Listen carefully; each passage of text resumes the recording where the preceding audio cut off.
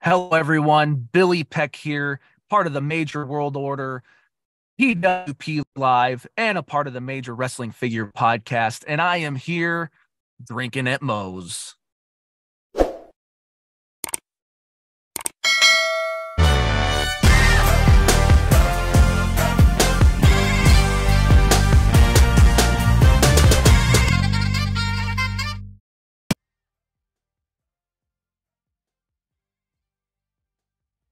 All right, everybody. Want to thank Reaper Apparel for having Drinking at Moe's be a brand ambassador. They encourage everybody to break out of that comfort zone, live their best self, which, hey, that's what got me starting the podcast. But they got great clothing, great apparel, t shirts, hoodies, beanies, hats, all that good stuff be sure link will be in the description and use the code drinking at Moe's to get 10% off your order. Let's fucking go. All right, everybody, welcome Drinking at Moe's. Host Big Mo here. Be sure YouTube, like, subscribe, comment, all that good shit because that YouTube algorithm is a pain in the ass. Where most places you can find your podcast. Today, I am excited to have with me you may have seen him doing work with the Major Wrestling Figure podcast. If you're local to me here in Omaha, you may recognize him as the voice of PWP Live, Billy Peck. How are you doing? I'm doing great. Thanks for having me on. Oh, I knew, especially after I remember watching, I believe it was the vlog where the major wrestling figure podcast guys had you had you y'all in the the house together. I'm like, I started noticing that. I'm like, I'm like, I knew I wanted to have you on eventually, but seeing that, I'm like, okay, I'm I'm, I'm gonna finally reach out and do it. Sure. But uh, first thing I like to start off with each of my guests, especially first time, is what got you started out as a fan of wrestling because you know in the stuff that you've been doing with the major wrestling figure podcast with pwp live you know you started out somewhere as a fan and then you got got your uh, chance to leap in there. Yeah for sure. Um i remember uh being you know a kid. I was at my next door neighbor's house and uh, just you know playing with like some of the younger kids there. And I remember, you know, one of the older brothers uh, was, and I think it was live. I don't think it was recorded, uh, but they were watching WrestleMania 10, mm. and I was not really like paying a lot of attention. I saw that wrestling was on in the background, didn't really know what it was. And I remember one of them saying basically like, oh, this match is gonna suck because it's a bad guy versus a bad guy. Mm. And they were talking about Shawn Michaels versus the bad guy, Razor uh-huh. Ramon. And something about like how he said that struck me as like bad guy versus bad guy. Cause you know, as as kids, you know, mm. you know, we watch, you know, cartoons or whatever, and it's oh, always yeah. good guy versus bad guy. So yeah that struck me and I watched it and it's this ladder match and it's this spectacle and there's the the titles hanging and and all of that. And so it that caught my attention and I was just enthralled. And uh, from there then on out Shawn Michaels became my favorite wrestler. You know I I also really liked Razor Ramon because of it mm-hmm. and then subsequently and, and not even knowing you know what we know now like because the business is so open like i yeah. really gravitated towards anyone that was part of what we would later know to be as the Kliq so ah. shawn razor diesel one two three kid yeah. hunter hearst helmsley like these were all like some of my favorite wrestlers um but shawn michaels has and always will be number one for me nice i know this maybe dating me a little bit. I mean, my wife loves to give me shit about me being old. I mean, I do. I will be turning forty here in July, but Um, I'll be turning 38 in July, I think. mm, 38. If that's not too right far behind me then. No, no, not at all. but I know some of my early favorites were I know first off it was guys like Hogan and uh, the Road Warriors, the Sure. spike shoulder pads. Mhm, I mhm. I see the way the crowd reacted to those guys, and I'm like, oh my god, that is the coolest shit ever.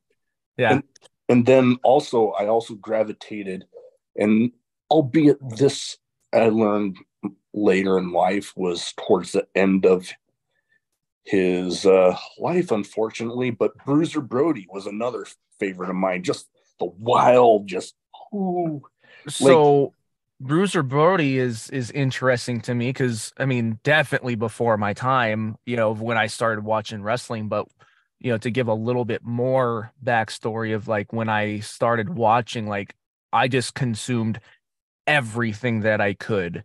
yeah, you know so like wwf and wcw you know uh, obviously a little bit later but wcw like monday night wars and all that were both a Yeah. thing. I was never a pick one or the other. It was always back and forth. Oh yeah, and um espn classic had Mm. like old like black and white like awa yeah, uh uh you know matches and stuff. And like it didn't matter to me. I knew that it was very different than that kind of cartoon aspect of of where you know the new gen where i was introduced yeah. um but i just tried to consume every bit of wrestling that i could so bruiser brody was another one that would you know start to pop up on some of those espn classic things and i really enjoyed him as well Oh yeah. No, I just remembered uh today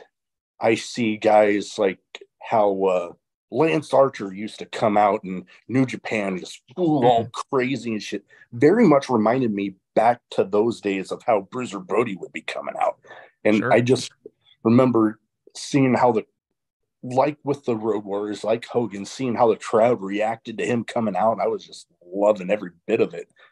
I know one of my, and he's still, I consider him my all time favorite up to today.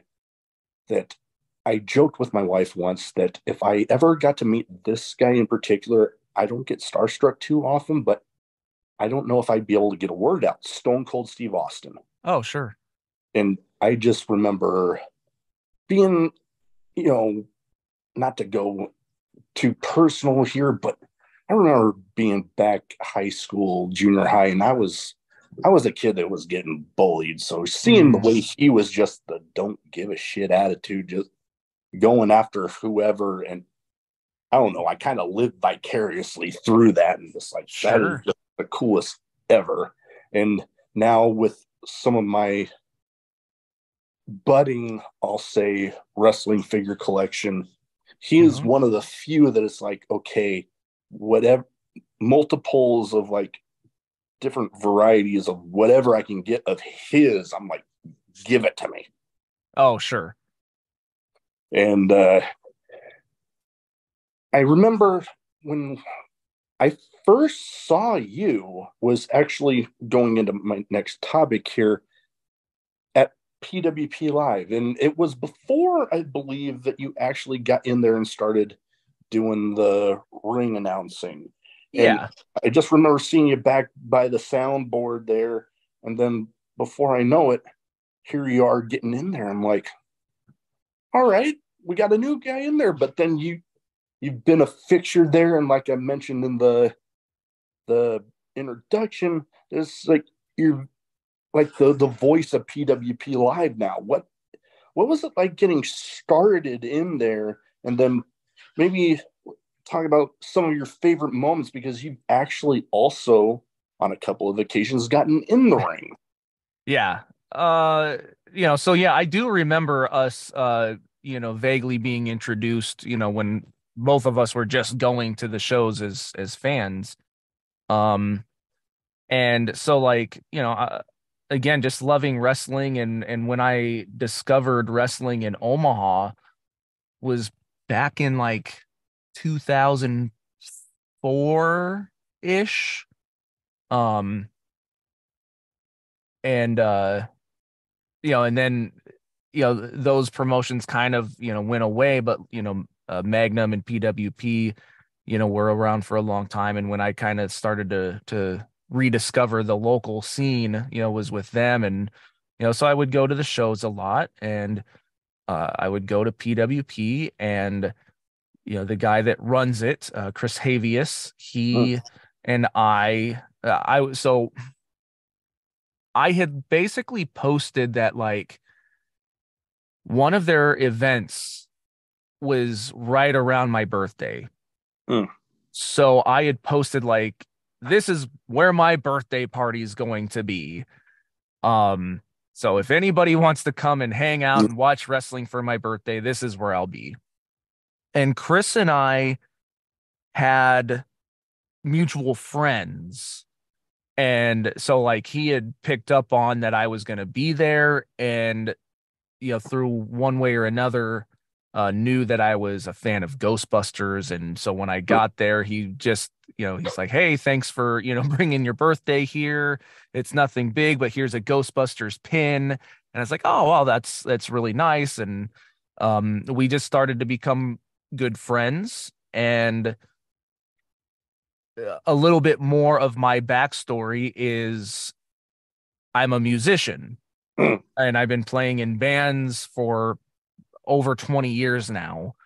Um and so he would like you know I my band would be opening up for a band that he was a fan of or something so he would come out to shows and then uh again we just our relationships kept forming and one of the things that comes with me being a musician and and the style of music and stuff that I do like it's a very entertaining and theatrical uh, mindset. So I know how to uh talk to a crowd. That you do.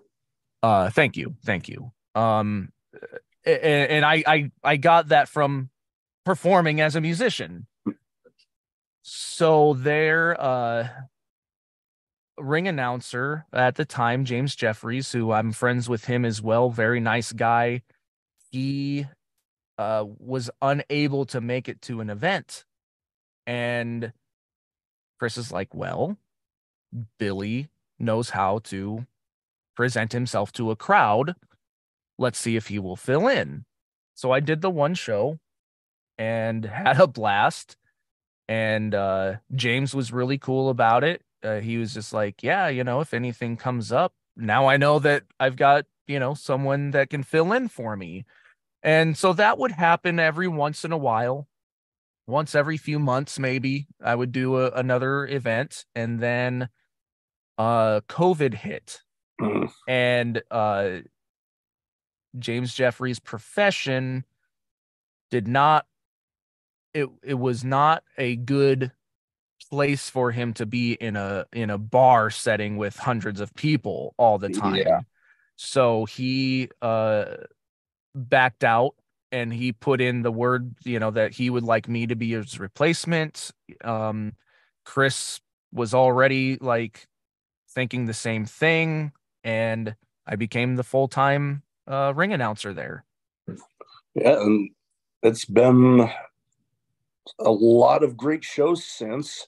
I haven't been able to go at lately because my shoot job, I sure I call podcasting kind of like a second full time job, but I don't paid shit. But I remember yep. that uh, I got moved to Lincoln. So mm. by the time I get back in, and then with all the the interviews that I've been doing lately, it always seems like by the time I hear when a show is, I'm like, well, damn it, I already got an interview that yeah. Right? So, but there's been some great shows. One of my personal favorites, and one that I always make an attempt to remember. Okay, I want to go to this Battle of the Phoenix. Yes.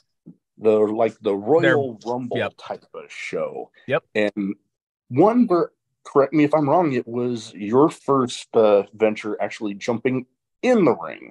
Yes. So um and and here's where some things will tie and I know where uh, the conversation will go eventually, but um I I, I had a very little thing to do prior to the the Royal Rumble event, uh, style event. Um, there was going to be a couple months where I was not going to be able to be there. Hmm. Um, one of those reasons was it uh, the event was booked at the same time that I was going to be going to Baltimore. Yes, Baltimore to uh take part in a major wrestling figure podcast event. So, uh, between being gone one month for that and then another month for my band had a show booked, uh, I was going to be gone for a couple months. And I not only ring announce, but I uh, do like backstage interviews. And one of the uh, wrestlers and managers, uh, Brett Bishop and Manfred Zablinski. You know, they they were not always the kindest to me, maybe didn't appreciate my interview style. I don't know what the case is. Yeah. Brett Bishop wins the world title and he demands that I come in and I announce him as the winner again. But he I is being he's being very degrading to me and um I reluctantly announce him again, but I didn't have the level of enthusiasm as he would have liked. So his manager started to push me around. I pushed him down. Brett Bishop grabbed me and did uh, essentially Big E's uh, big ending uh, as what he calls the checkmate and uh, put me on the shelf for a couple months, so to speak. Mm, yeah. So uh doing even just that little bit was very very fun for me. I can imagine. And uh I suppose, you know, I've I've done very little training. I would not say that I am a trained wrestler, but I've, you know, done a couple things here and there and I grasp how things go. And I, I think a lot of it, you know, is just working in my years of different facets of entertainment. It it just helped me be comfortable in how to do some things. And um yeah, so their their Battle of the Phoenix uh, Royal Rumble style match was coming up and it's the idea started getting tossed around that you know look sometimes there are surprise entrants and uh why not have me uh be one of them Yeah. and uh so you had asked earlier what was like one of my favorite moments and uh i think this this is definitely one of them. Um you know look i'm sure everybody listening and watching this is uh is is smart enough to know a, a lot of how the business works. Um so you're given a certain amount of tasks to do within your rumble spot. Yeah. um essentially i'm told you're going to eliminate this person and you're going to be eliminated by this person. Then you kind of fill in the gaps. Yeah. i'm supposed to be in there for four six minutes. Not a very long time. Um and we we map out how things are going to be but i cannot eliminate that person until they've eliminated the people that they're supposed to Ah. so they take a long time i am now going from you know uh, let, us just call it a, a five minute spot to maybe like a 15 minute spot and wrestlers are like picking me up grabbing me uh telling me like all right let's do this. And i'm like oh boy uh okay time to work fast. There's no thinking about it. But i'm in my mind going like man i hope i don't mess this up because I don't really know what I'm doing. And and to my surprise and and I think others and you know, I'm not trying to you know boast or or be conceited or anything, but like I was pretty proud of of how I handled myself in that situation. And it went well and I gave uh Brett Bishop, he was another surprise entrant because he had semi-retired, I suppose. Yeah. Um, he came in and I was able to get my redemption on him from when he previously attacked me. I gave him the super kick. Moonshine Russell helped me eliminate him. And then, even though him and I are buddies, me and Moonshine, it is every man for himself, and Moonshine eliminated me. Yep, those those Uh, Rumble shows, yeah, that's the common thing they always say: every man for himself. But uh, one of my personal favorites, and I think that knowing the the way things were locally at the time, I think made for this surprise entrant the year that it happened a little extra like holy shit moment Yes. when the God rest his soul Jason Strife Mhm. came out and was an entrant in the Battle of the Phoenix and Yeah, and that was not the same one I was in. That was a couple well, years. yeah that, that was that was yeah that was before that one Yes. yeah but I I just remember thinking like I got introduced to independent wrestling when I was stationed in the Navy down in San Diego. Hmm. And at the time, Magnum Wrestling was doing showcase matches at different promotions down there. Ah, And I remember he did one that I might be remembering this wrong, but there was one that it was against the guy that became Ricardo Rodriguez in Yeah. WWE. He went by Chimera at the time oh, sure. under a under a Mhm. mask. Mhm. And I'm like, I wanted to go talk to Strife after the match because I'm like, holy shit! They said Council Bluffs. I'm like, I'm right from there. I'm Right. originally from about an hour south, so I'm like going up, and then he talks about Magnum up here. I come, and then boom, here I am. Uh, I got a personal connection with PWP because lo and behold, Brandon Juarez Mhm. he was the man that had been convincing me to try to make it to PWP show for a while. Mhm. And lo and behold, after not even being there for like maybe 30 minutes, he's like, I got somebody I want you to meet. And then boom, here I am now almost married four years to her. Yeah. And we mentioned the guy that runs PWP, Chris Havius. We actually convinced him to get ordained and he officiated and it was just Amazing. funny no it was just funny for me thinking back because my parents before i started getting out there to more of the shows they were like you really think you're going to meet anybody there? And then literally the day of the wedding i walked up to my dad laughing my ass off and i'm like i remember when you told me that. And it's it was just a cool thing. And then another thing that you have been lucky enough to be a part of the your own podcast and you're involved in a few but major world order Mhm. part of major wrestling figure podcast what got that started because you guys along with a guy that we'll talk about later uh, ethan page really Hmm. got me back into wanting to collect like Sure. wrestling figures funko pops that sort of thing what was it like getting major world order started and then getting involved with the major wrestling figure podcast Yeah, I mean, look, these th- this is where like, you know, I'm uh, incredibly fortunate and like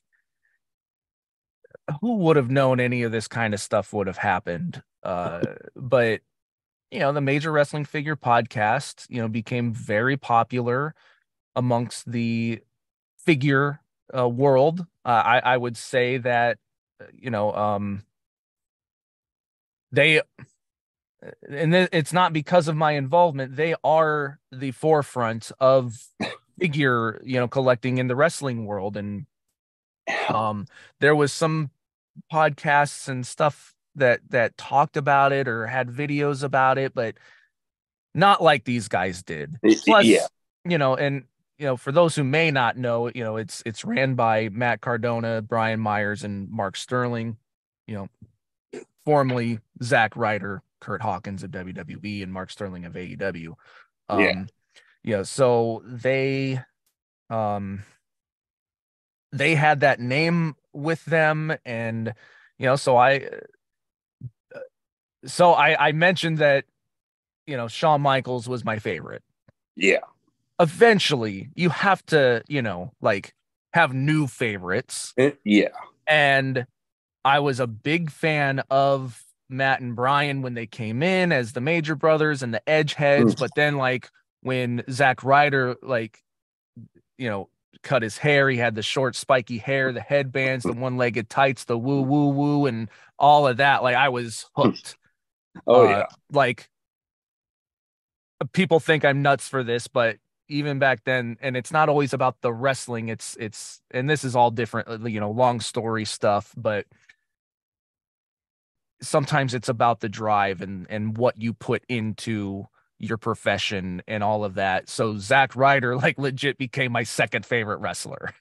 Oh no um, totally. so following his career major wrestling figure podcast starts. Uh big fan of both of them start listening. They have a Patreon. I joined that. They have a private Facebook group. And that is, you know, when I started, there was maybe, or when I joined the the Facebook group, there was maybe only like 300 people in it. And uh only 300 people, including them, posting about your collections and the new things that you pick up or what are you looking for and all that, you start to form relationships and bonds. Mm-hmm. So I had met a, a couple guys, uh, Andrew Husfar and Jake Wyatt, who the three of us became very fast friends. And Jake you know, like we have like a Facebook chat, and he just basically was like, we should just call ourselves the Major World Order, you know, and it, it was like just just a group of friends. Yeah. And me being uh the creative type of person that I am and the rapport that we always had, like we got along so well. I was like, you know, like for those that listen to the Major Wrestling Figure podcast, Matt, Brian, and Mark are so good about like talking about people from within the community. I bought this thing from this person, and they might tell a little story about that person. Um, and as you become a regular listener, you start to recognize these different names of yeah. just fans. And I was like, you know, this community is so strong there's essentially a built-in audience. You you we always hear about these these different fans. Why don't we start a podcast and we interview and get to know the people that you hear about on the show? And it, it's not uh, you know it becomes fans but it's also like side characters from the podcast and yeah. and, and and people like that. So like it very much became this thing of let's interview people within the community. The guys the day one were so supportive of it and like retweeting our stuff and sharing our stuff on Instagram and telling their fans to listen to us. Um they they were amazing about that kind of thing. And over time you know so like Matt instantly was just like I want to be on the show like we mm. wanted him on yeah. and we were gonna wait for like oh well let's do like an episode 25 or something like a big episode and he's like uh-uh let's do it now you know so he was like episode like four or something like that um and you know, so we've been very lucky to interview all three of the hosts, Matt, Mark, and Brian. Um, we've and, and it's while we largely interview people from the community, they uh, you know, have given us the opportunity to interview people that they are connected to. So we've we've interviewed like Hornswoggle or Chelsea mm. Green or Rhino or the people that wrote Brian's theme music or mm. just a number of people like that and so they they saw all the hard work we were putting in they were doing like virtual events. They asked us to host one of them. Uh, we had Dan Danhausen on it. We had Ethan Page who you mentioned. Uh, we had Luke Gallows and just a number of people that are all again connected to them and they gave this us this opportunity to to have them on. Colt Cabana, Alex Reynolds from the Dark Order and mm. again just so many cool people um that they just put all this trust into us.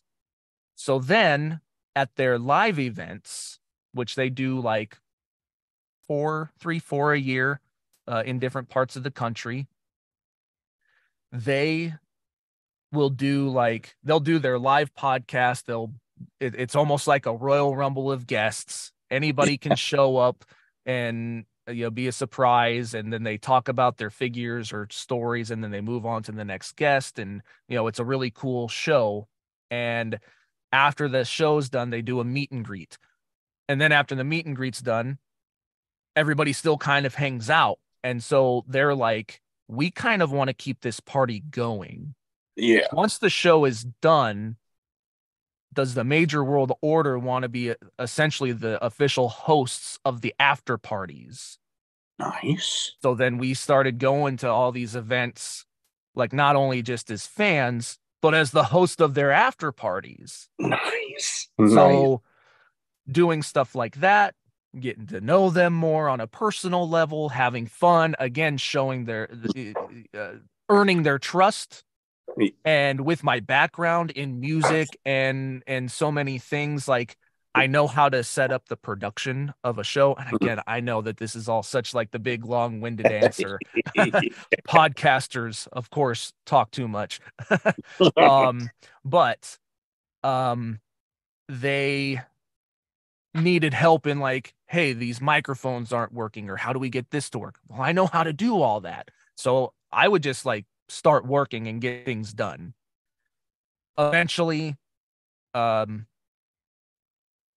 some stuff started to come up. They asked if I would help with video production, you know, make some some uh, uh video packages to promote something, help with some graphic stuff, uh, all kind of like freelance work.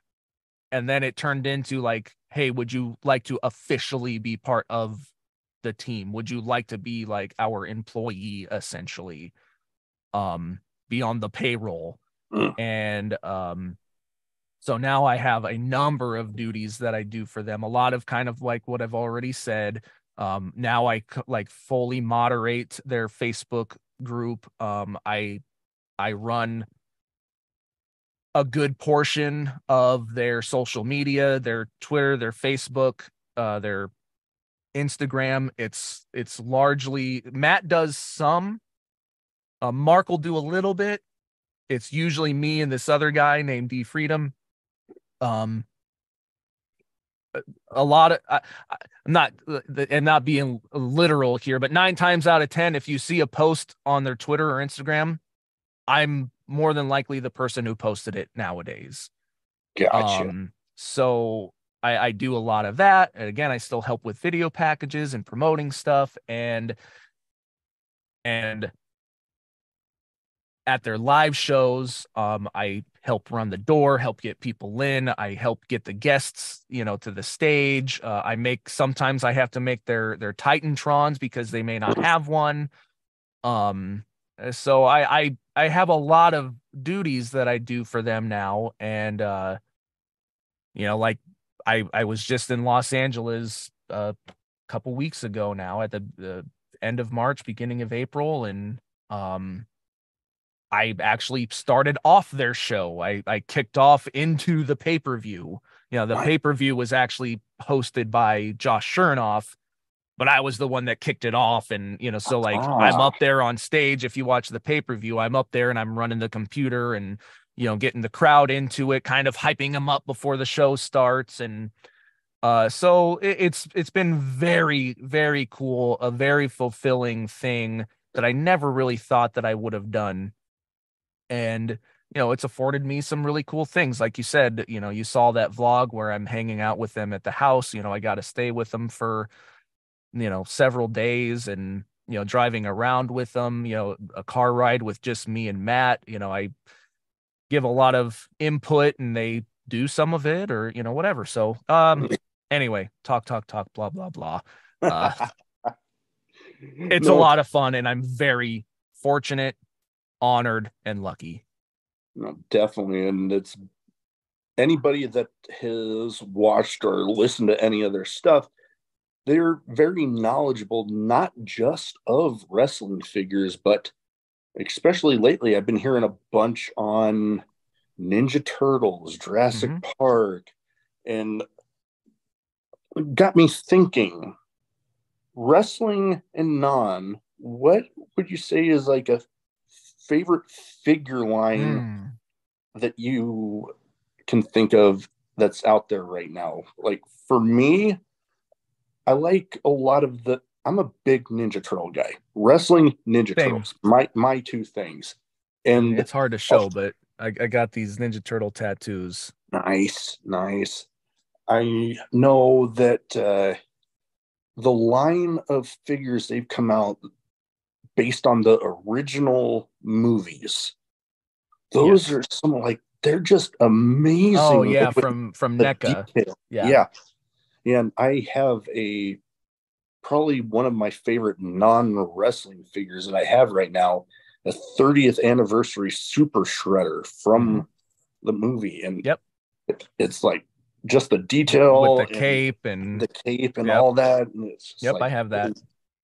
That that's one of my absolute favorites. But what would you say is a favorite wrestling and maybe a non-wrestling related figure line out there for you um currently currently? Okay, okay. Um man, yeah, I I would have to you know probably go with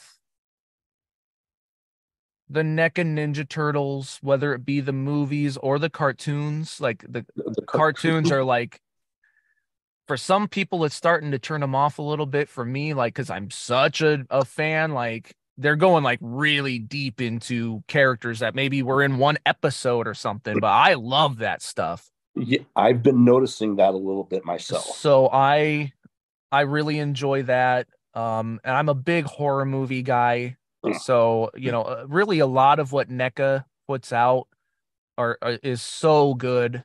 Um whether it be like their, you know, Michael Myers or Puppet Master or Freddy Krueger or, you know, any of that stuff like I I collect a lot of that stuff. So again, really any of these like movie lines that NECA puts Mm. out I'm probably into a lot of it.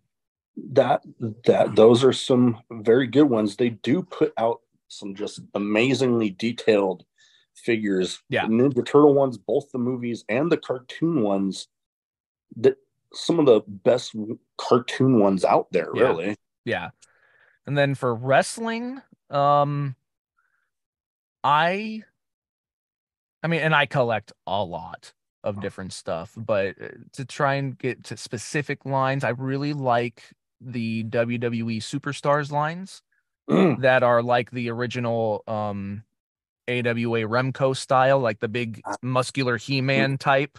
yeah. Um, I really like those, and I, you know, it, it may seem biased, but the Major Wrestling Figure Podcast has their own line of figures called Major Bendies, That they do. Yeah. and I really love those because I was a big fan of the original WWF uh, Just Toys Bend-Ems line. So the majors now they put out current people and people that would have fit in that original line. So I'm a really big fan of that as well. Oh, no, definitely. They do very great work with those bendies. I mean, you mentioned current people. I know the uh, one that I hear about a lot is the one for Effy. Dude, that one's it's like legit, maybe like their best one yet. It is so cool and detailed. And here's the thing: like they're not for those that don't know, like they're not supposed to be like the NECA, you know, movie turtles. Like it's not supposed to be like screen accurate. Like they are supposed to be like a cheaper style looking kind of cartoonish figure. But yeah. Um man, his is so so good.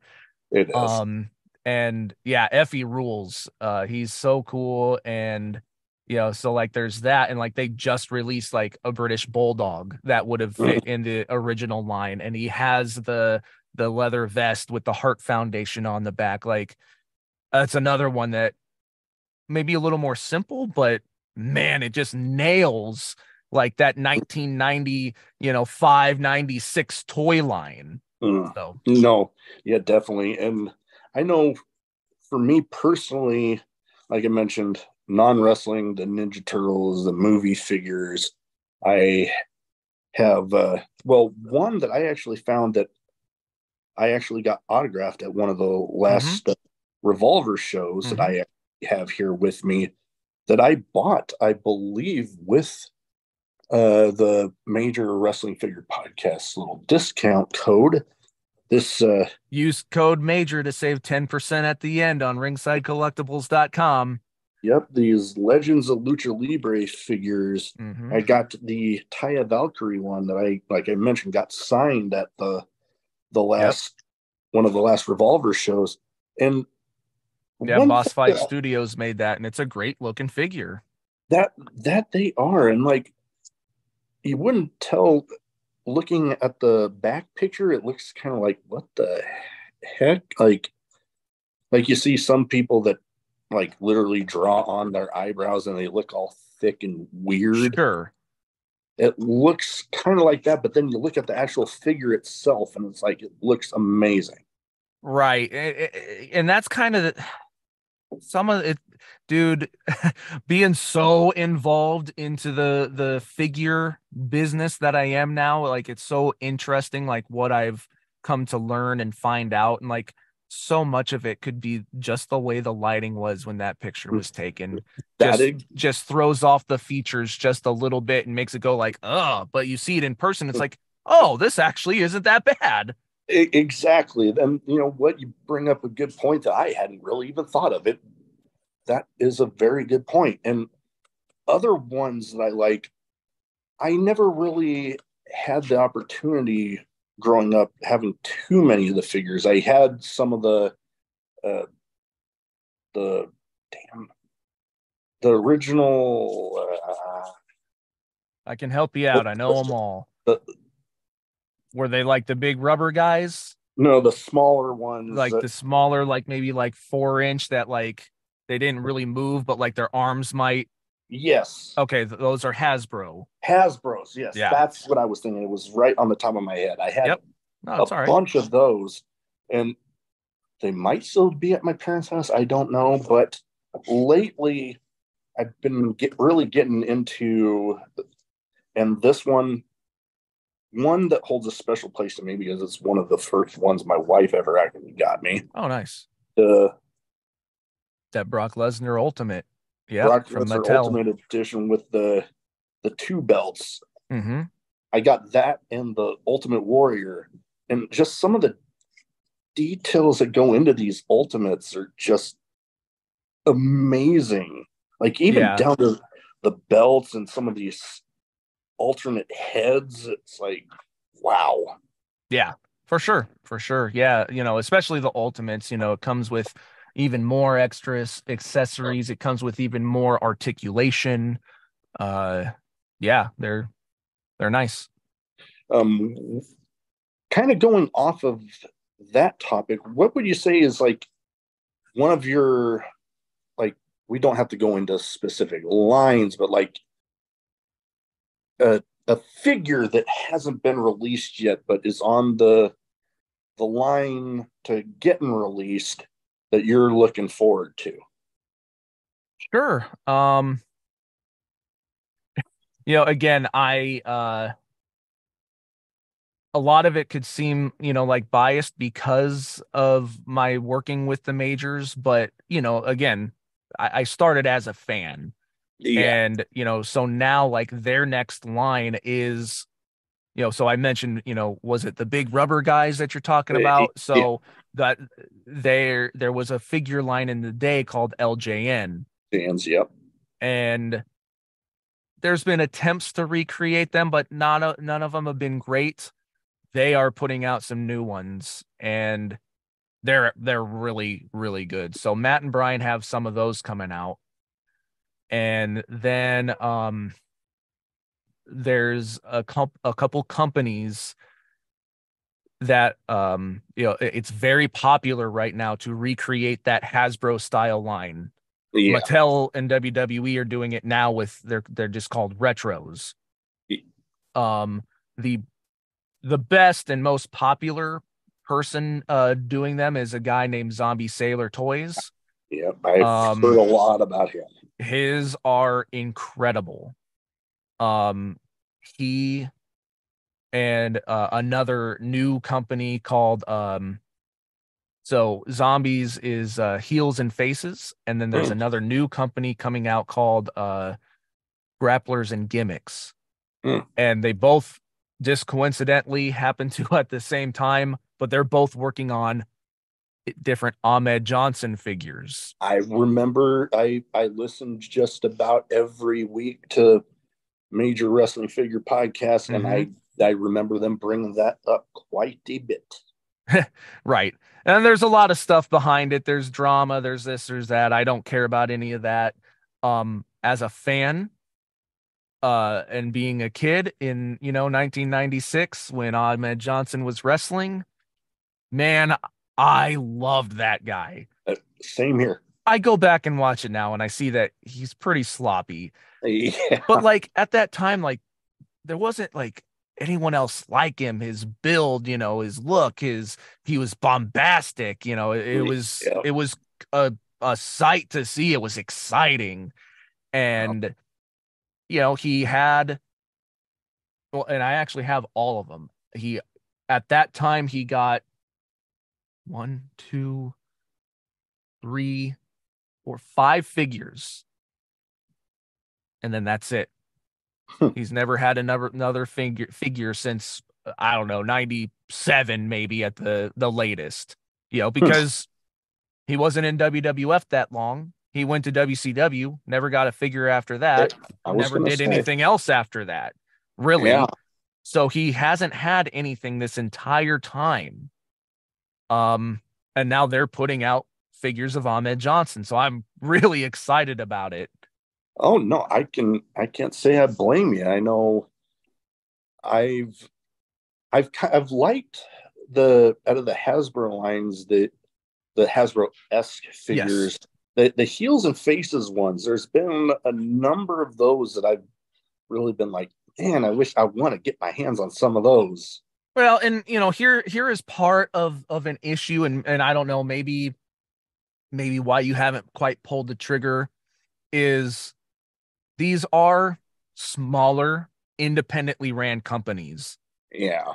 Because of that, you know, Mattel, that Brock Lesnar that you have I don't know exact numbers, but they probably made like 50,000 of those. Eh, probably, yeah. Um that figure is like 35 bucks. And it comes with all this stuff. It's highly articulated. It's six inches. It's like it is an action figure. Yeah. It is Mattel putting that out, who, you know, owns Barbie and Hot Wheels and like they are huge. They are a million billion dollar company. Mm-hmm. And for those that may not know, like the business side of it, you know, 50,000 figures, the more you get made, the less production costs cost. Heels and Faces, other companies like that, small independently ran companies, they're only making a few thousand of these, like two, three, five thousand figures yeah. You know, we're talking, you know, like 45,000 less figures. Yeah. Now we're talking not as articulated. Instead of six inches, it's like four inches. But the figure costs like 40 bucks. How does that figure cost $5 more than this superposable action production costs are very wildly different. So Yeah. I don't know if that's, you know, and and with the amount of them that come out, there's not a lot, so they sell out fast. Th- I- that- those might be the been reasons- why people wouldn't be able to get them, you know, is is hey, I get it. You don't want to spend forty dollars on this little hunk of plastic, but they look beautiful. Oh yeah, no, there's been some like I've been uh I know and correct me if I'm wrong, they made a Ethan Page one, I believe. Okay, so there, that's another company uh, called Chella Toys. ah, Uh, okay. Chella uh, folded, and now they're kind of split between a few different uh, companies. It's a little confusing, um, but yes, they made an Ethan Page. They've put out some stuff. Their stuff is, uh, you know, a little back and forth. Some of it looks really good. Some of it is not as good. gotcha. Um, again, that's kind of the trials and tribulations of a small independent company working on a very small budget. very, But very yes, they put out that Ethan Page. because like I said, I'm I'm a fan of his as well. Mhm. And you know, AEW, they somewhere down the line, they're supposed to be coming out with one of his, but with they d- they don't like push them out as frequently as let's say WWE with some of their lines. Sure. So who knows when we're gonna get that? So whenever I think of wanting to try to add an Ethan Page figure, that's the one that ends up coming up more often than not. right, right. Yeah, he has two and then very like paint uh, you know, variants, but um you know, he's he's got that Cella and then he has one from a, another company called uh Figure Toy Company. Ah, uh. FTC. And again, they're not the best quality. So Mm. everybody's really waiting for like when do we get this Jazz Wears AEW figure? Yeah. I'm Um, eagerly anticipating that one. Yep. I would say because I I believe that there was a rumbling of he would be in a future line. So I th- I think that I think within like a year we may see like at least a digital render and then maybe sometime next year um he would have a figure. I'm Nice. only guessing, but I, I Yeah. could see that being a, a good possibility. I, I can I can see that. Now, going into the figure podcast and the collecting aspect of things, got two kind of questions here. What would you say is a most unique item in your collection? And maybe if it's different than the unique item, what is the favorite item of yours? Wow. Uh huh. I I suppose I'll go with some kind of more sentimental Hmm. type things. Um you know, uh, like I mentioned, Shawn Michaels, Zack Ryder, favorite wrestlers. Um I have had for quite some time a signed uh, Mattel Zack Ryder figure with the one-legged tights and all that, and I I had Matt sign that, and it got me thinking. I was like, you know, like I would really like to have my first wrestling figure. Now in in the like '96, I think is when it was. They came out with um, a new style of Hmm. high, more articulated figures, the bone crunching Ah, yes, the Figures. bone crunchers. So my favorite, my first one was the blue tiger stripe Shawn Michaels figure. Nice. I was like, you know, maybe, maybe I need to get that. I, I now I already had it, but loose. I'm mostly a loose collector. Hmm. Um. So I was like, it would be nice to have an original one, still mint on card, signed by Shawn Michaels, That, that would be epic. And I have that. Nice. Um, and it, it, it's very interesting how I ended up uh making this all work. Um, I'll try to give the condensed version of this story, and Okay. and um, uh, it, it it all it all works together. It's the Shawn. Michaels, it's the Zack Ryder, um, and sticking with collectibles. I don't have many, but I um I was in um Dallas for WrestleMania 32 when Zack Ryder won the Intercontinental title. Ah, yes. Flash forward, fast forward, whatever, um, to um last year's Royal Rumble that took place in Dallas. And now I am doing work with the the major pod. I'm like, you know what? It's Dallas. I'm with Matt Cardona, who the last time he wrestled in Dallas, he won the Intercontinental title. I need to get one of those Intercontinental title replicas and Mm, have him sign it in Dallas where he won it. that would that would be epic. Yeah. So I did that. Same weekend, Shawn Michaels is doing a signing at WWE Access. Hmm. I got that belt signed by him too, because he also held the white intercontinental title. That he did. So I have the it was my first time ever meeting Shawn. It was very cool.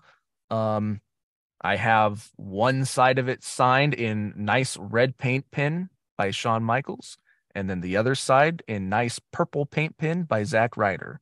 Nice. I've yet to own any of the title replicas. And that's what I was saying. I don't have many. I have that. I have a winged eagle, and my wife has a rated R spinny belt signed Nice. by Edge. nice. I Um, have So yeah. I speaking of Edge, one of my favorite items. I have the if spacing off on the year, but the Elimination Chamber DVD cover where it looks like he's biting the cage. Yeah. I met him at World of Wheels and got that signed by him. I got it. Oh, yeah. up. Yep. Yeah, I was I was there. My wife and I went to that and um yeah, uh what did we have him sign?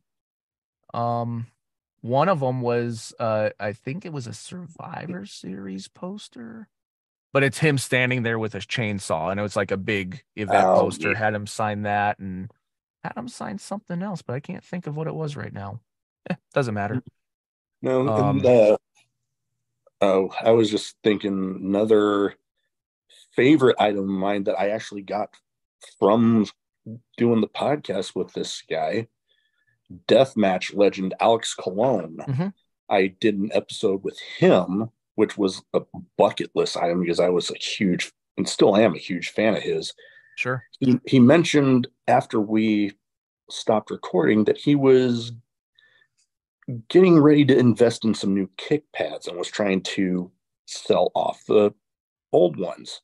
Yes. And I was like, Well, how much are you wanting? And he said, Make me an offer. So I did. He accepted it.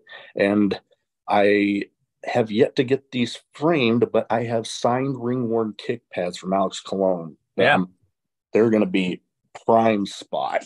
That's non figure related. you know and at this point it's even the you know the guys say it like it's wrestling figure but really it's more pop culture collecting Yeah, no, I'm I get you there.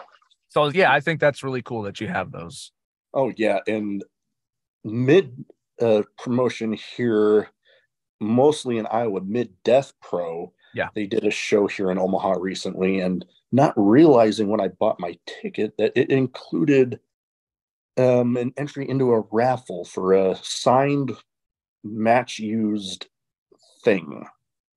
I didn't realize I won until the promoter walks up and hands me a section of a door that was used in a match, signed by everybody.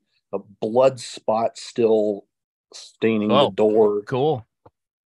But uh, non wrestling related, I am rather proud of this one.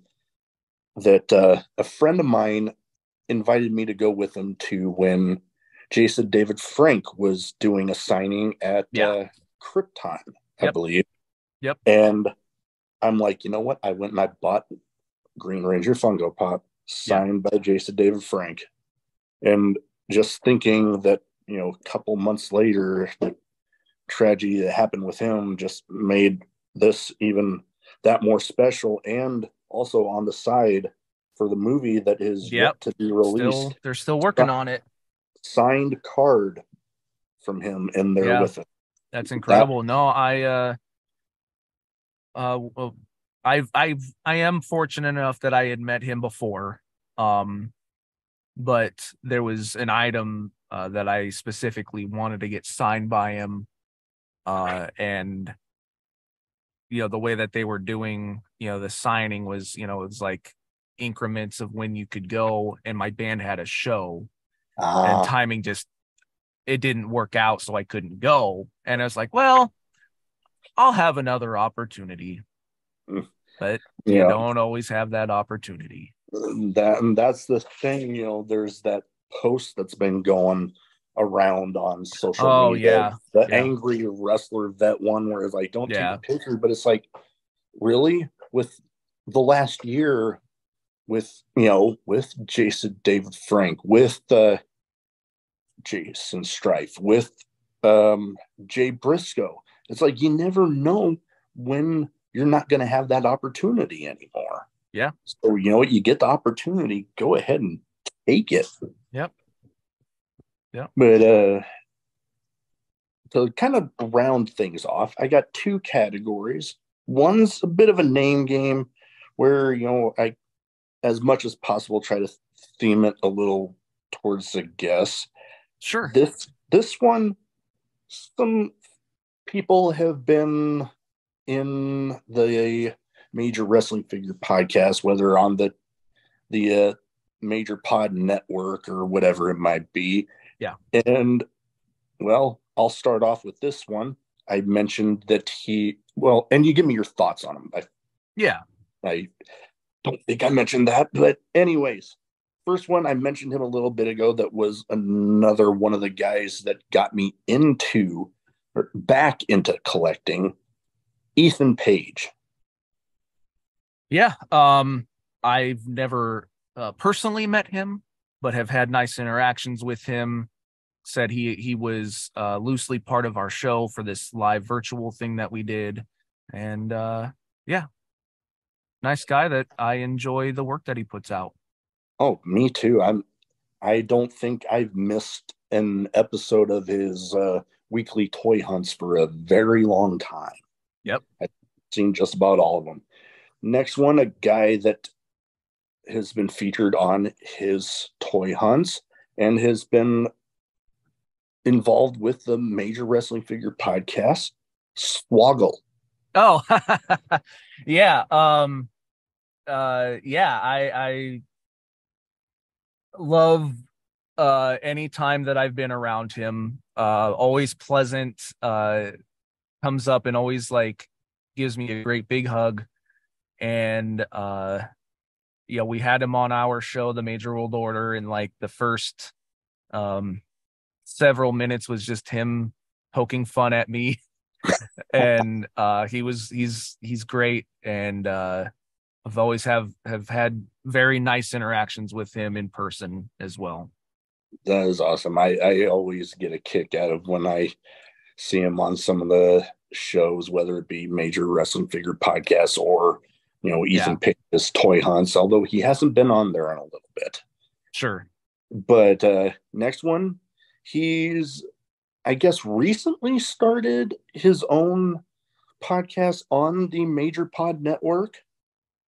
Heath or Heath Slater. yeah okay man he is a just a trip Um, now I another one that I have definitely met and talked to, but like I wouldn't say that we have a relationship or anything, but um he is just genuinely sweet and funny. Mm. Um so yeah, that's what I'd say about him. No, he definitely he definitely gives off that vibe Yeah. for sure. Last but not least, for the name game, a guy that I know he might correct me if I'm wrong. I believe he was on the last uh major pod live thing that we were talking about. I believe he might have been on a couple times, but I actually got to see him live down at uh, AEW in Kansas City. Platinum Max Caster. Oh yeah. Um another guy I've I've met him a couple times. Uh no relationship with him. But uh yeah, just uh again like what a talent. Um he's just so creative Definitely. and he thinks differently of of how to approach things. So um you know, one of the shows that I saw him at for the major pod shows I saw him at, he you know just did his usual shtick. He he did a, a really great rap, making fun of some of the other guests, scissoring people, you know, all that. This last one, um, him and Mark Sterling have had this back and forth where Max Caster will put on his own shows and he's doing rap stuff and fun things, and then Mark will come out and he'll be Mm, you know the the the punch lawyer and he'll you know just like nobody wants to listen to your rap crap. They want sophistication and he'll do poetry or something. I I remember seeing the vlog from the Jericho cruise. yes which always ends in mark getting attacked um at the major pod live 2000 in uh los angeles. It was the other way around. Uh max caster came out and um you know he he came out in the suit jacket and he's like you guys are talking about children's toys while being sponsored by Pabst Blue Ribbon. You know you are you are soliciting minors. I am calling the cops. And and i'm not going to go into everything he said. It was really funny. Um i not again not just because i work for them if you're into watching like live shows and stuff i really really highly recommend uh checking out major wrestling figure podcasts live 2000 on the premier streaming network.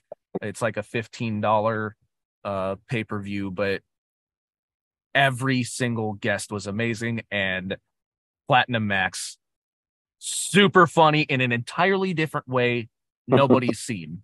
So I'm I'm gonna try. I'm definitely gonna try to get my eyes on that because it's one of those things with him that's like I, like you mentioned, very creative. So I I just love how you know you never know from one week to the next.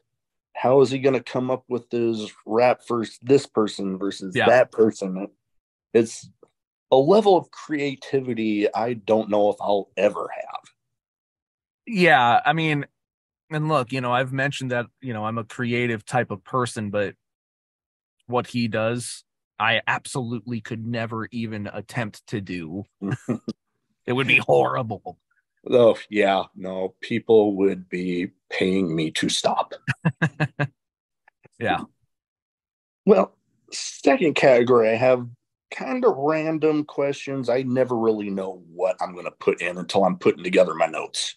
Love it But you, you just give me your first first answer that pops into your head. Okay. First one, one of the only ones that I generally try to keep in. Craziest in match moment that you have witnessed, whether being live in a crowd or you know at one of the PWP live events. wow um that's loaded uh i'll go i'll go with this i i can't say that it's like just the craziest thing i've ever seen but i went to um san francisco for wrestlemania 31 Hmm. and that was one of the first. I, actually, that might have. I, I could be wrong here, but I think that was the first NXT show that like traveled outside of Florida, and it's before they did like pay per views and stuff. Oh, before the traveling uh, takeover events. Yes, yes. So the next, uh, the following year, I, I think that was the one that was like the proving point. Mm. And Vince was there because he usually didn't go to them. Vince was there and was like, okay, this is great. Let's start doing live shows. That those first takeovers, takeover Brooklyn, Dallas, blah, blah, blah. Yeah. Um, so it's WrestleMania weekend. It is a small arena full of the craziest, most rabid wrestling fans excited. And say what you will about you know them over the years, it doesn't matter. But at one point, Enzo and Cass were the hottest people in Mhm. wrestling It- as far as excitement and, and all of that. oh yeah, I you got to give that to them. they like when they especially came out right when they came out and enzo's doing his stuff much like max caster Hmm? incredibly creative on the microphone that roof uh, that it, it just everything about it the crowd is like the loudest most Hmm. amped up crowd i've ever been around I that would be something to behold being able to be there live. I have yet to actually attend a pay-per-view of really any kind from the major Sure. promotion. Like I've been to my podcast, I got invited out to Warrior Wrestling when they Hmm. had their St. Louis stop. And I've become quite good friends with a lot of people in that promotion. I've been to revolver shows that sure I mean, at one point before the uh, Fight Plus deal, those were technically pay per views. So Sure. I, I've been to those, but yeah yeah but WrestleMania, that stuff. you know it's it's different oh, and that's yeah. okay but it's yeah No, and like I've witnessed my fair share of crazy moments at some of those. Like Warrior Wrestling, there was, well, Jonah now back Yes. to Bronson Reed Yeah. going up against Jeff Cobb, oh yeah and i bet that was cool oh god, they would chop each other so hard you could see the individual beads of sweat just flying off of them. yeah And then at the uh, well, one of the last uh, revolver shows I went to, I've become decent friends with Jake Crist and his manager, Mhm. uh, Bobby Olson, and they had what I consider my first legit death match. Because there's a lot of promotions out there that'll say, "Oh, Texas death match," and it's basically uh, no disqualification. Yeah, it's just like a hardcore match, no Hardcore. DQ. Yeah. Yeah. This was like I consider my first legit death match where like they had just gotten done with a monsters ball match the match before.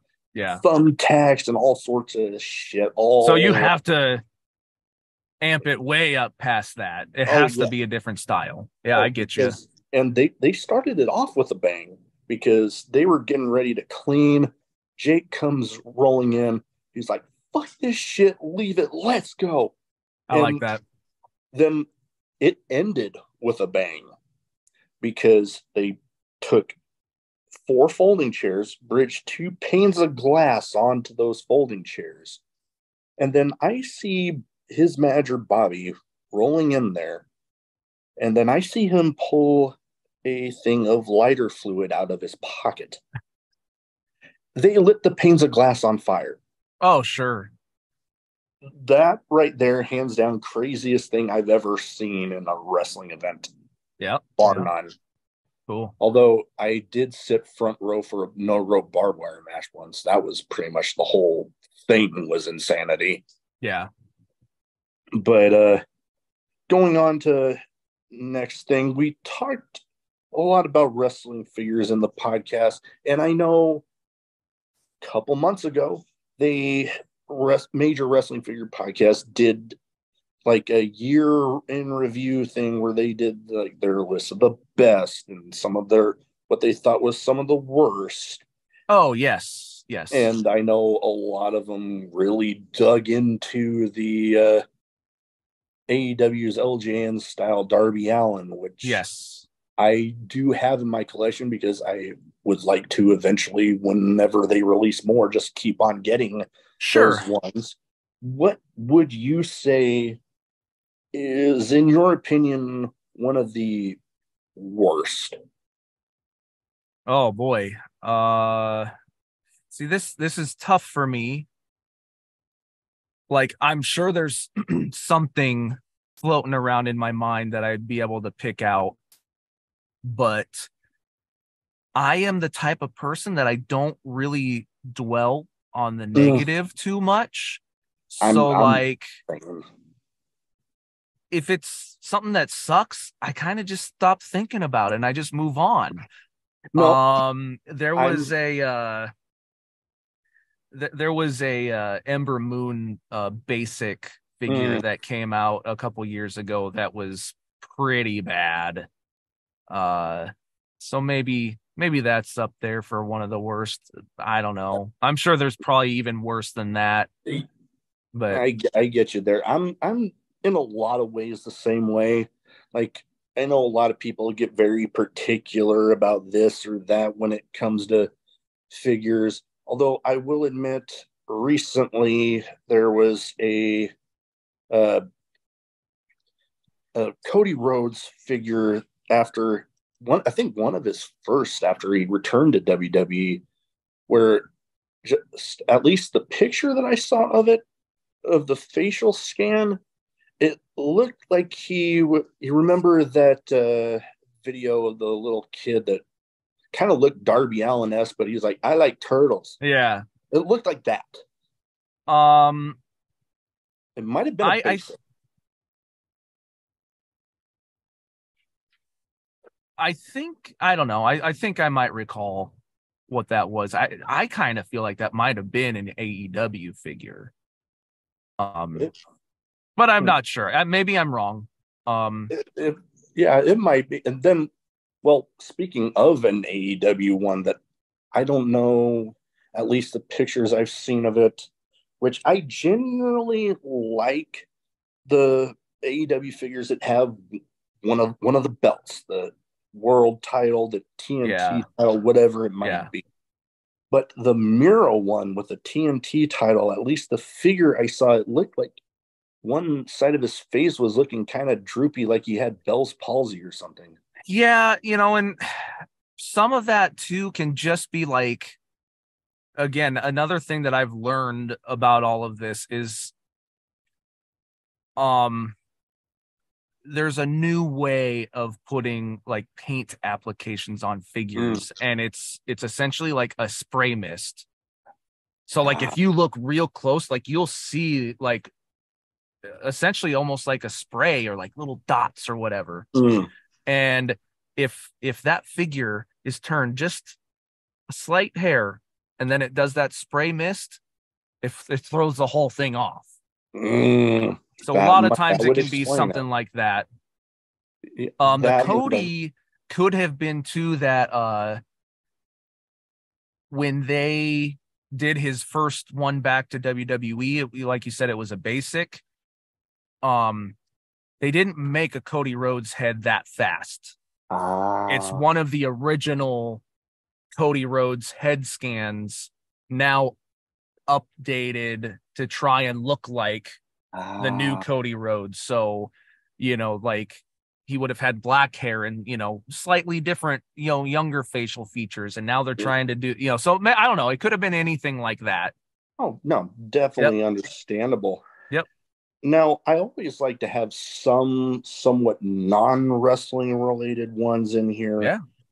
So I came up with this one. Who would you say, if you had the choice, would play you in a movie about yourself?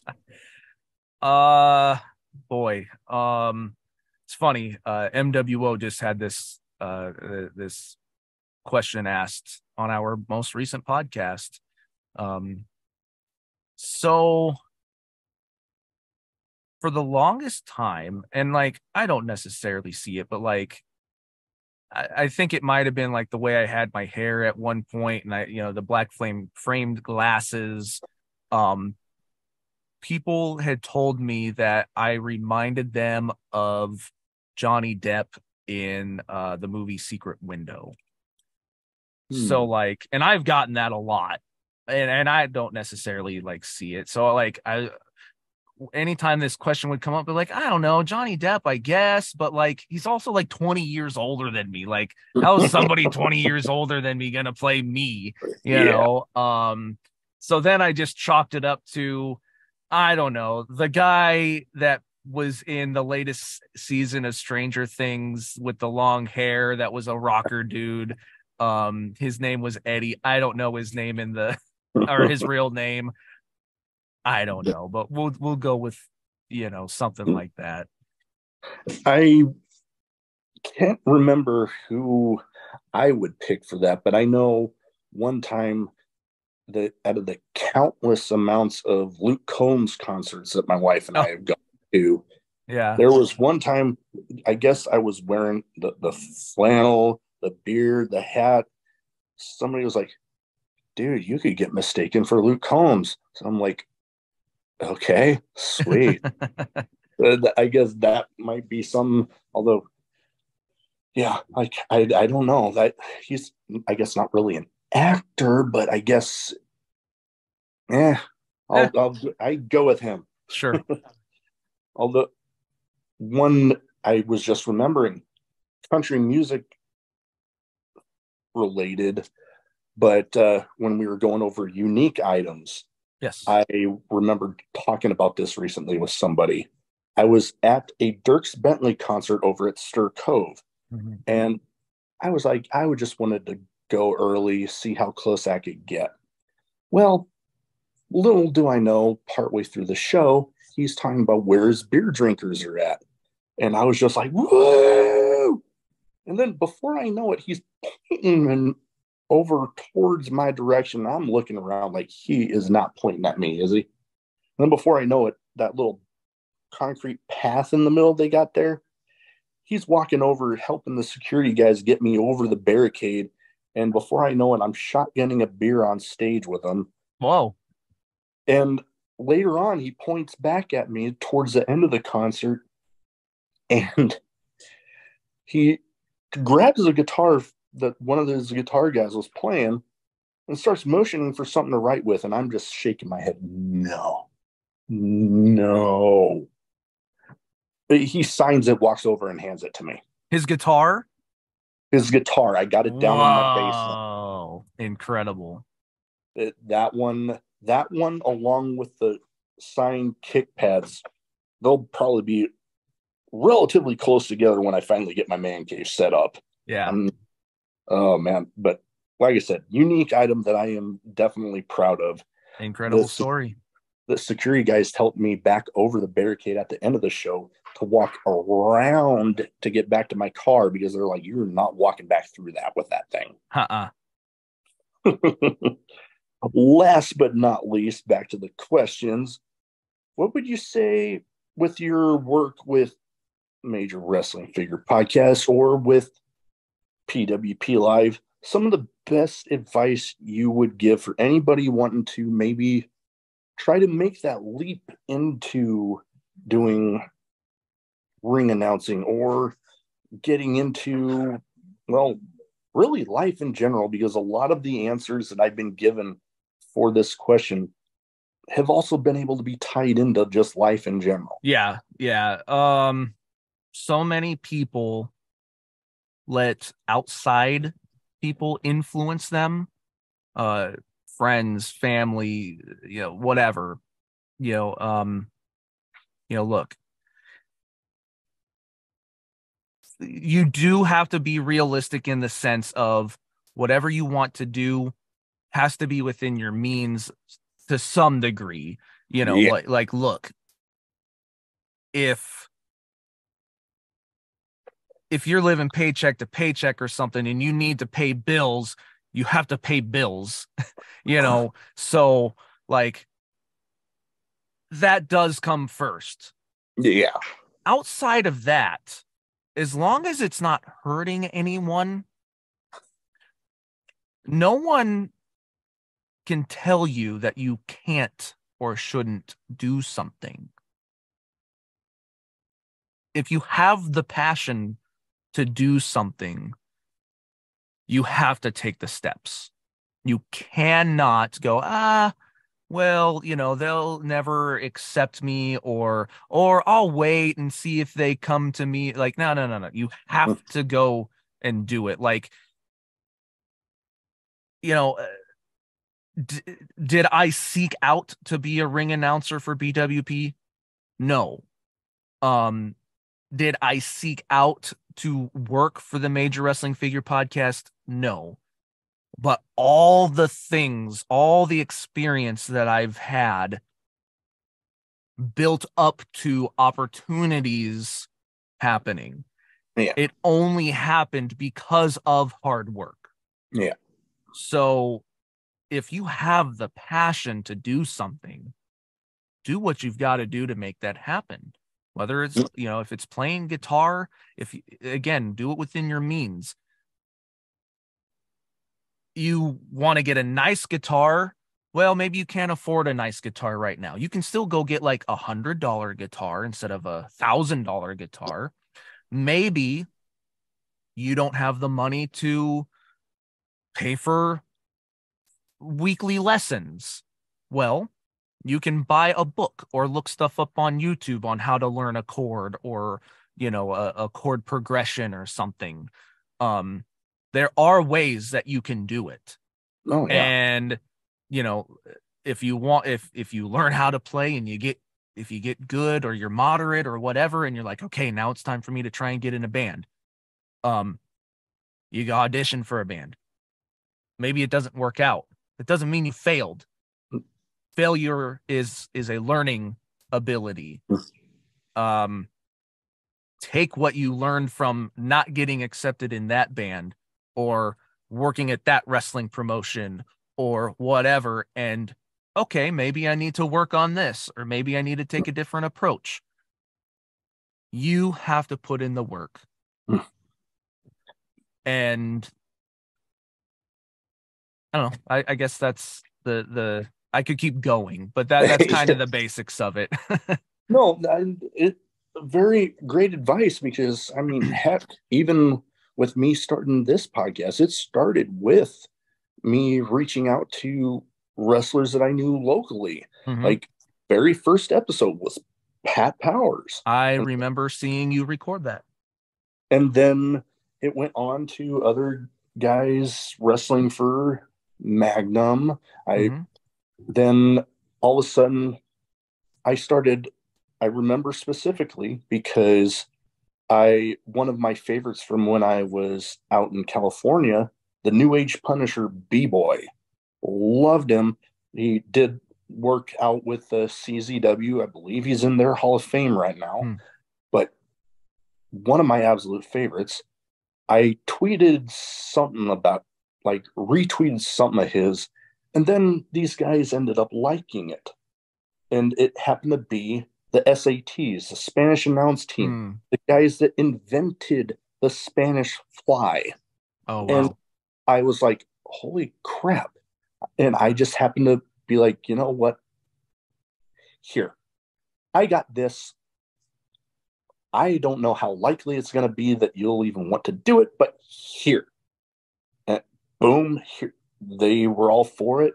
And then, heck, that led to me getting an interview with uh, Ring of Honor ambassador Cary Silkin Mhm. and then you know jonah i got uh, him with uh, warrior wrestling and speaking of warrior wrestling if i didn't start the podcast i wouldn't have been getting featured in their uh, pay-per-view pre-shows which i've been actually featured in uh, frequently as of late. So it's awesome.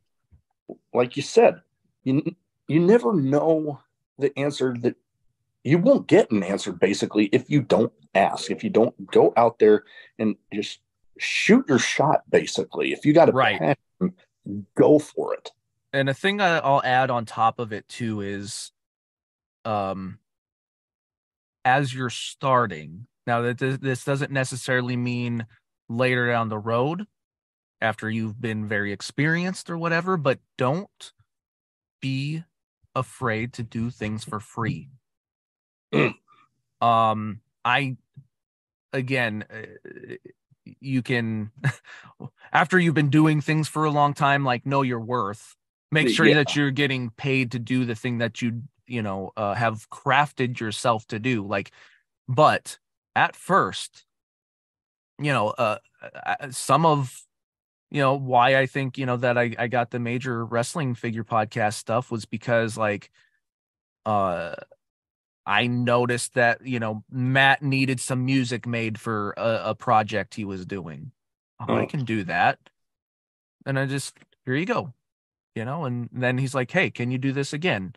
Well, can you do this? Oh, hey, like, would you do this for some money? Like, you know, eh, mm-hmm. again, like some of that is is how this all came about too. Is you show your worth, you show your professionalism. If if they like what you're doing, maybe they'll do something with you. And maybe, you know, maybe if this major wrestling figure podcast stuff didn't work out for me, but now I build a relationship with them and and and a, a little bit of a resume. Well, now mm. this thing has something going on. Maybe I can show them what I've done. Now I have a proof of concept and then say, "Hey, if you need this, this is what I've done. Yeah. Um, as you've been doing the thing for a long time, again, then you should know your worth and don't don't just you know cower to people and be like, oh well, can you do this for me or blah blah blah.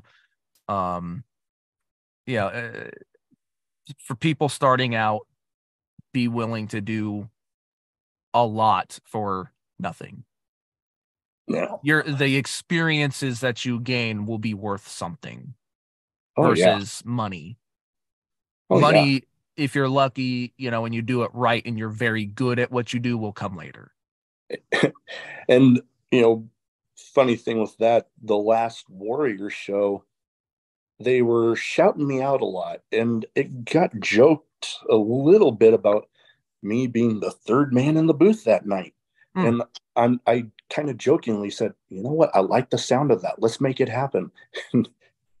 Later on, they're like talking again about third man in the booth. And they said, is Big Mo? They're like, is Mo getting part of our pay? Like, I, I don't, I don't know.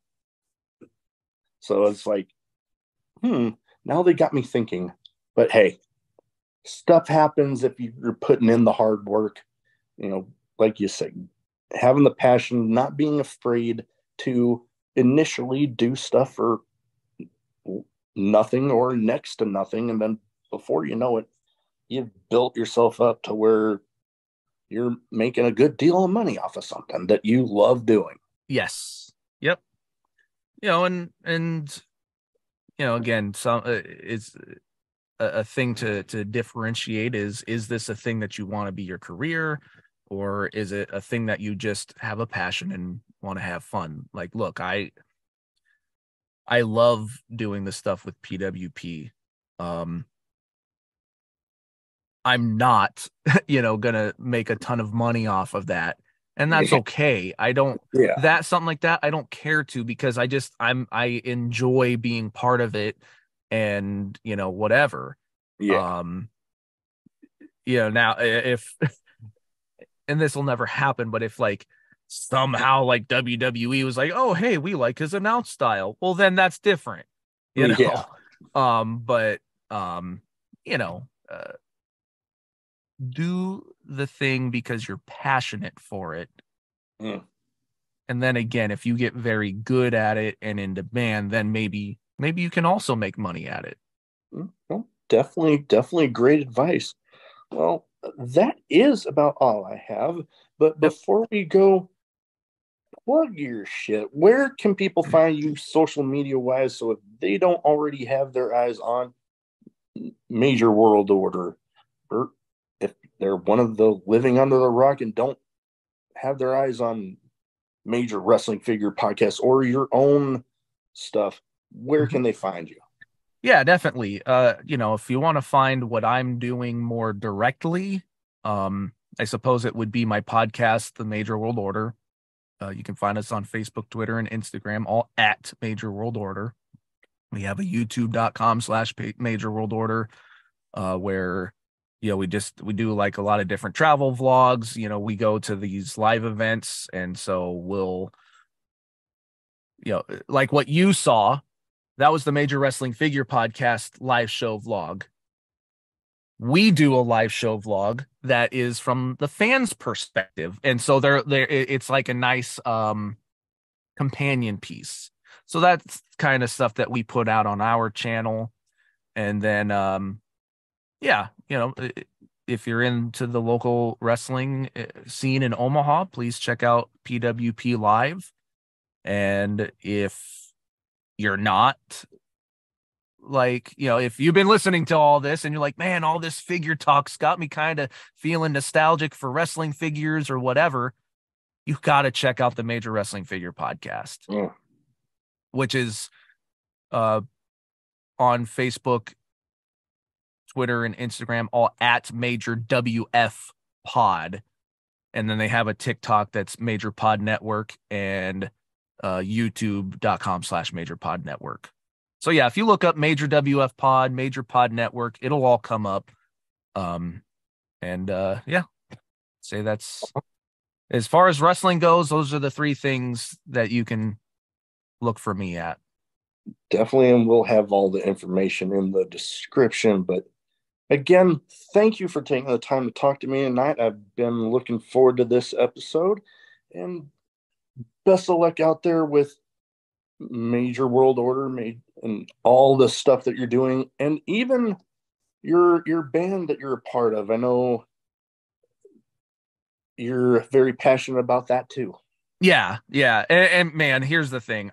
There's so much stuff that I could talk about outside of just wrestling that I'm involved in.